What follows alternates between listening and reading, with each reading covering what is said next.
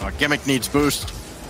And so does LJ. He's only got 20. This one, does he poke it free? Daniel pokes it free! It's been completed! Spacestation, a reverse sweep and a best of seven.